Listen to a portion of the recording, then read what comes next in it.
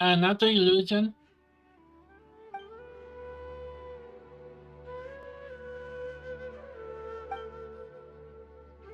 Hmm. What do we do? We haven't seen Hypatia anywhere out here. Oh, there she is! Quick, let's see how she's doing. so sweet. Mm. Well, the good news is that she's still conscious. Hey, why'd you drop her food on the floor like that?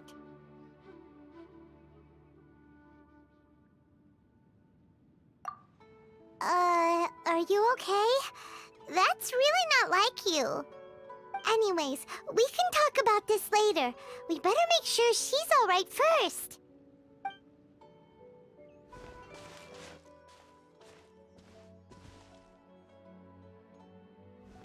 Whoa, wait a sec. Look at all this fruit lying around her. We can put that to good use.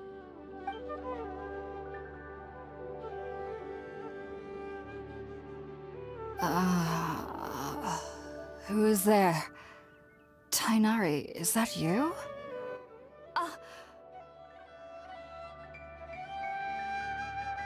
Oh, hello. Huh? It's okay. You can relax, Hypatia. Tighnari sent us here to bring you some food and water. Here, we have a letter that he asked us to give you.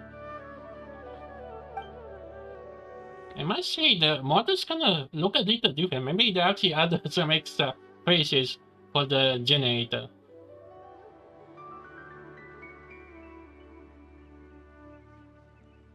I see. So, you're friends of Tighnari. I apologize for all the trouble I've caused you. Huh, she actually acts nice. For me, instead she's gonna be like, I don't know, all the Sumer scientists gonna be like, I, let's just say, word hypocrite or egoist, egotistic or something in those lines. I'm grateful that you came so quickly to save me. You even brought all this fruit. Well, actually, we didn't bring the fruit. It was already here when we arrived. We were kind of wondering about that, actually. When we found you here, there was all this fruit lying around and even some juice dripping from your lips. Uh, how did you end up like this anyway? Oh, really? Hmm, I seem to understand now. All the fruit was likely from my, uh, neighbor. Must have come by and saw me like this. Your Neighbor? neighbor? In You this mean there's someone else living nearby?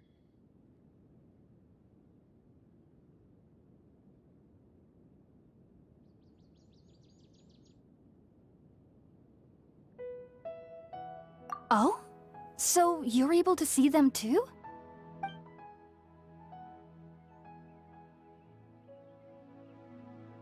Wait, hold on a second, Traveler. You say that before we arrived, you saw some mysterious creature and suddenly had a strange dream? Isn't that a little too crazy to believe? No, I actually do believe what the Traveler is saying. I myself had a similar experience once before and ended up scaring my timid little neighbor here. You needn't worry. They mean you no harm. They only dragged you into the dream because they hoped to buy themselves a little time in order to scurry away. So, Hypatia, just what kind of creature is your neighbor exactly? I'm not sure what it's called, to be honest. But I do know that they have some sort of deeper connection with the Dendro Archon. I know this because the first time I saw them was also the exact day my consciousness was able to form a connection with Irminsul. Even after I opened my eyes and stopped meditating, my heart was still pounding, and my mind was racing with all the knowledge that I had touched. And at that very moment, I suddenly noticed a small figure at the opening of the cave. In my curiosity, I began to walk over to the creature. They must have already been used to me living in the cave, because they didn't seem to mind me approaching them. They just kept doing whatever they were up to. It wasn't until I crouched down next to them that they suddenly realized that I could see them. Are these actually their face? Or someone actually do go- what is the what? Do the the eyes? Oh, and then? And then I had a dream. By the time I came to, they were nowhere to be seen. I was convinced they'd never show up again. But sure enough, I saw them nearby a few days later. And they weren't alone. I feel like they aren't as afraid of me as the first time I approached them. But I never would have expected them to save me. Yes, no doubt about that. By the way, Tighnari mentioned in his letter that you had questions for me regarding Irminsul.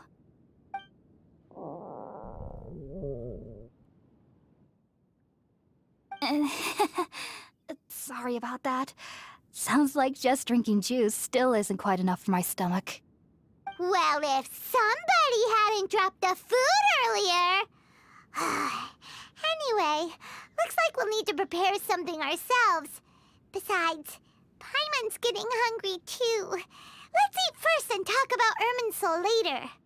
All right, we're up, Traveler. Today's menu will feature sweet madame and a radish veggie soup. You'll love them, Hypatia. They're our specialties after all. Mmm, sounds good. I've never tried any dishes from other nations before. I certainly look forward to it. It's been so long since I've had a decent meal, too. To be honest, the last time had to be when Tighnari came to visit.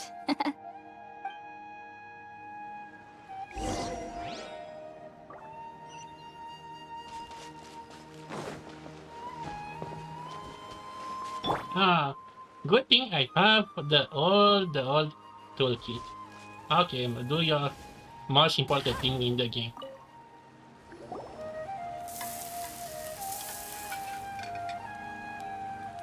All done! Let's use the empty box that Tighnari gave us since we already watched it. Oh, it smells amazing! And the box is a nice touch, too! Let's go serve this up and start eating with Hypatia! Are you already finished cooking? Mmm, smells delectable. I'm truly thankful whenever I can enjoy a proper meal like this. Uh, cooking really isn't my forte.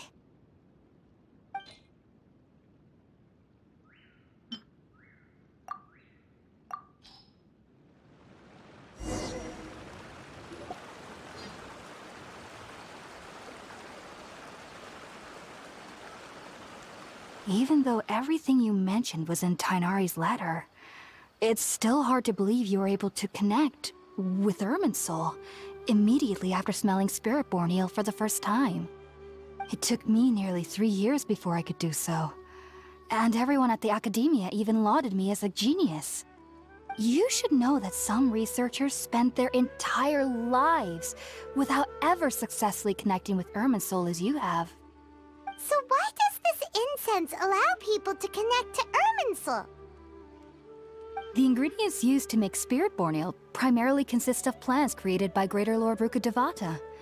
These special ingredients are conducive to heightening our senses to the Dendro Archon's power. Since the root of the Dendro Archon's power lies within Irminsul, we can occasionally tap into her powers to peer into the depths of the earth. That's all right. I'm sure you'll come to a clearer understanding as you remain in Sumeru. Hmm, makes sense. But Paimon's got a question. Why was he sensitive to the smell of those plants for such a long time? That was primarily due to his body's unique constitution. Stimulated by the incense, he could perceive the Dendro Archon's power and experience the sensory overload, hence the adverse reactions. Taking in any scent similar to the ingredients of Spiritborn Ale would cause adverse effects. Not to worry, though. It appears you've already fully recovered. Technically, your body should still be sensitive to the powers of the Dendro Archon, but unless you're using intentional meditation techniques, the scent of Spiritborn Ale should no longer trigger such reactions. Whew, well that's a relief. I must admit, I am quite envious of your abilities. Even if it meant suffering from pounding headaches for the rest of my life, I'd consider it worthwhile so long as I could connect with Irminsul at will. Whoa, you're really serious about this whole thing, aren't you? I am a researcher after all. As a member of the Rtawahist Darshan at the Academia, my main area of research is the stars and their connection to the fate of living beings. But there is still so much we don't know, especially regarding the mysteries that lie in the starry skies. Which is why I must turn to the all-knowing Irminsul for answers. If only my perception wasn't so limited. Unfortunately, I cannot guarantee that my every attempt to attune with Irminsul will be successful, or that doing so will leave my consciousness intact. I am currently in the stage of training known as Satyavada life. Many researchers in Sumeru have lost their minds while seeking to attune with Irminsul during this stage. Sages have said that Irminsul contains divine knowledge, and touching such knowledge without the proper preparations and abilities will only lead to one's mind caving in on itself. That's why we meditate alone. We need to ensure that our minds will be calm while minimizing the possibility of involving anyone else. Whoa! So knowledge from Irminsul can be super dangerous. Aren't you afraid of the risks, Hypatia? Of course I do especially during nights that are pitch black with no moonlight, and dead silent without even the sound of insects. However, I've been feeling better as of late. I don't get as scared anymore knowing that I have a little neighbor living nearby. I believe that being able to see them is a sort of blessing from the Dendro Archon. but what's strangest of all is that they're clearly an envoy of the God of Wisdom herself. And they have the curious power to make people dream. What's so strange about that? It doesn't sound so out of place for a divine being, does it? Well, it's strange because nearly nobody in Sumeru can ever dream. Huh. Is that true? Yes, well, to an extent. Only children can dream in Sumeru. Adults, however, never do. The sages say that wisdom implies rationality, but that which occurs in dreams is often neither rational nor logical.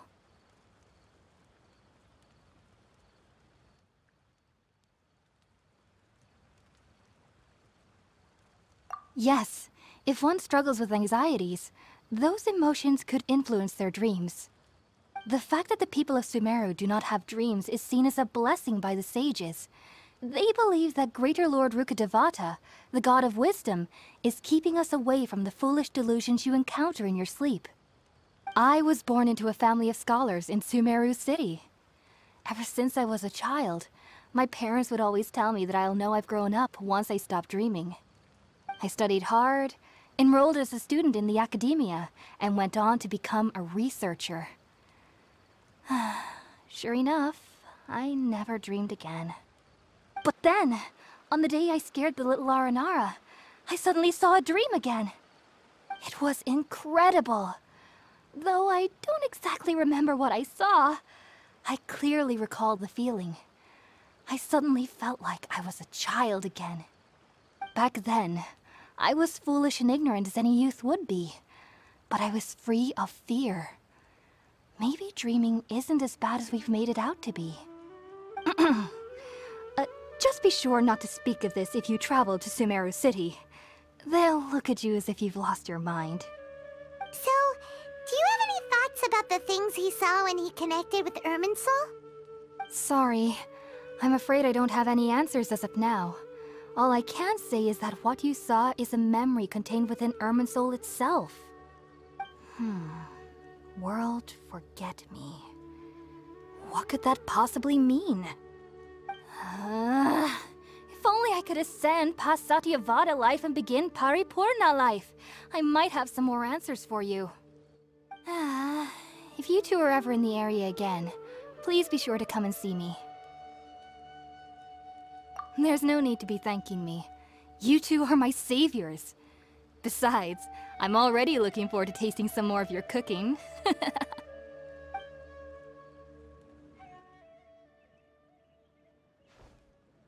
that we know Hypatia is alright and had the chance to ask her some questions, Paimon thinks it's about time to head back to Gandharvaville.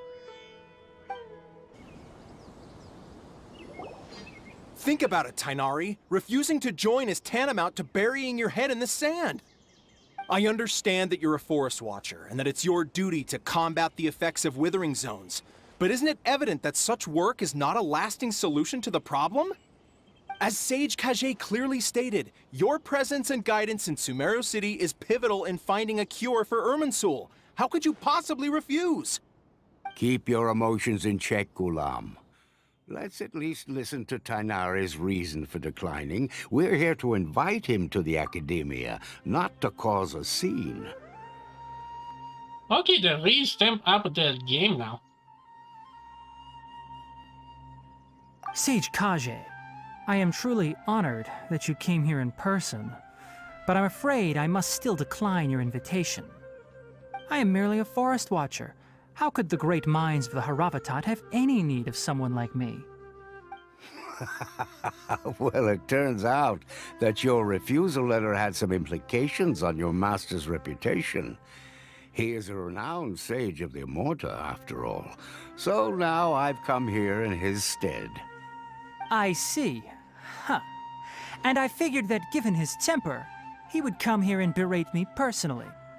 Tighnari, your master is an integral part of this effort, and now he requires your assistance. And what exactly does my master need of me, Sage Kage?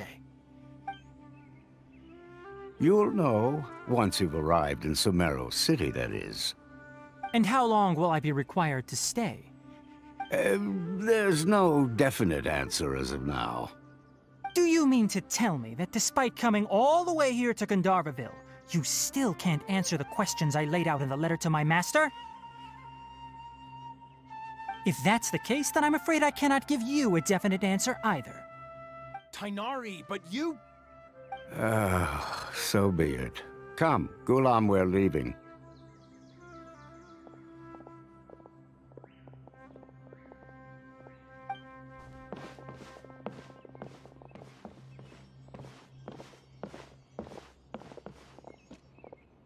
Now we got his attention. Uh, Tighnari, what was that all about? It's nothing. Some people from the academia wanted me to go to Sumeru City to assist them with a project, but I had to refuse on account of all my responsibilities here. But all that can wait. How did things go with Hypatia? It was quite the eventful trip, but the main thing is that she's safe and sound. She answered a bunch of questions for us, too. Very good. Now that the traveler has made a full recovery, there shouldn't be any reason for you to tarry here longer. I assume you will be heading to Sumeru City, correct? That's right. We want to meet Lesser Lord Kusanali and ask her for advice. Um, do you have any idea on how we can find her? Sorry. I'm afraid I don't have any advice for you there. Well, do you at least know anyone we can try asking in Sumeru City? Hmm, let me think. My trips to Sumeru City have been fairly short, and most of my acquaintances are researchers. How about this? I'll write you a letter of introduction that you can give to a researcher I know.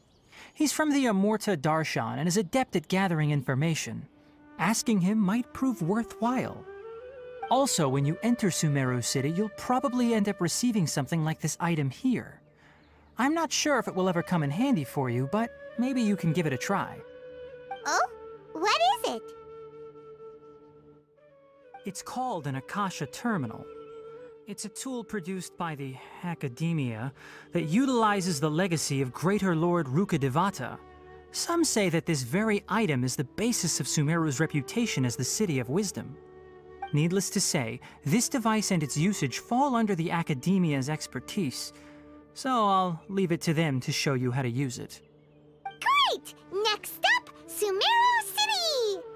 Uh, oh, but wait, before that... Yeah, we have to invite her in the group. And to be honest, I think it's actually time to actually play Strava with her. That's right! Tighnari, we have something important to say to Collei before we leave. Is she doing better now? Yes, she's doing much better. After being confined to her bed all this time, I thought a little walk would do her some good. Last I saw her, she was taking the path towards the North Crossing. She knew you two would be leaving soon, so she must have wanted to see you off. Thanks, Tighnari. All right, let's go! Farewell, and good luck to you both. Ah, I've been waiting for you two. I, uh... Well, uh... Never mind. I guess I should just wish you two a safe and successful journey. Thanks for waiting here just to see us off, Collei. We're headed to Sumeru City. Don't worry about me. I can take care of myself. My condition won't be getting in the way of my duties. I want to be a forest ranger after all. It's up to me and the others to protect the rainforest here. And, uh... Well, uh... I'm sorry. I should have told you both about my condition when we first met. I just wanted you two to treat me as a normal friend. Not some girl that needs your sympathy. But I guess now I understand that the most important thing is for friends to be genuine with one another. There's no need to apologize, Collei. We should be thanking you for trusting us enough to be your friends and sharing your past with us. We're probably still gonna worry about your condition, but that's because we're friends and we care about you. Thank you. That means a lot. Uh, before you leave, I have something for you. Oh? What is it? It's my recipe for pita pockets. I told you that I'd give you a copy, remember? My handwriting is a little, uh, messy, so please don't laugh. Thanks, Collei. Now we can eat those scrumptious little pitas whenever and wherever we like. I hope that whenever you eat them, you'll both remember your time here in Gandharvaville. Well then, I, trainee Forest Ranger Kale, bid you both farewell. Please visit Gandharvaville again. The Rangers will always be ready to assist you here.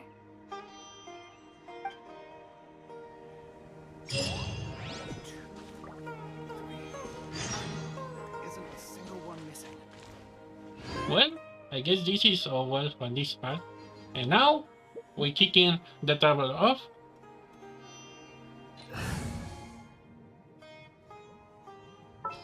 And we place with her. Trainee Forest Ranger Collei, reporting. Oh, look at this. Yo, look at this.